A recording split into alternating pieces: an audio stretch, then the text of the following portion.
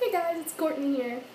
Today I'm going to show you some stretching tips and like stretching.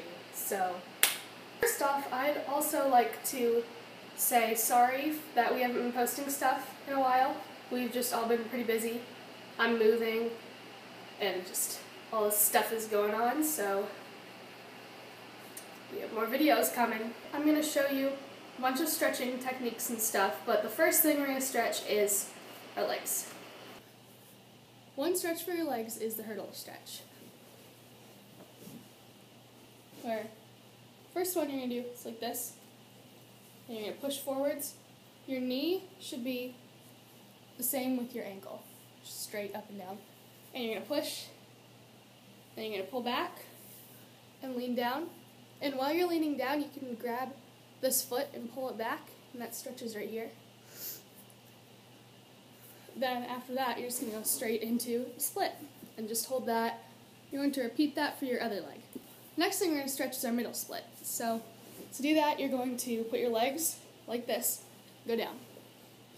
And you're just going to push that down. And it's just like doing the middle split, but your legs, that part, are in. So you can see behind me.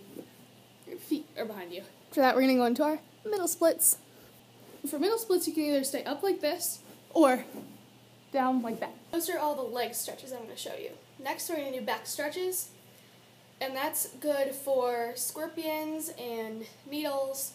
But for scorpions and needles, you also have to stretch your splits because you're pulling it behind your head and straightening out into pretty much a split. I have already done a video on bridges and back bends, but I'm just going to do a little refresher because those are probably the two best ways to stretch your back.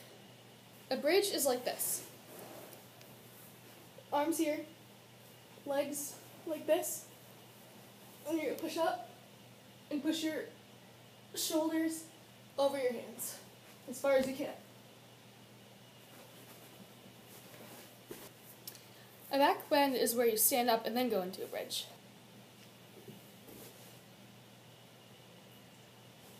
Now, I'm going to show you some different ways to stretch your back if you don't quite have a bridge or back bend. So you can go down like this, go on your hands and knees, flatten out and just arch your back, and try pushing as far as you can. That's our legs and back stretching video, and I hope you liked it.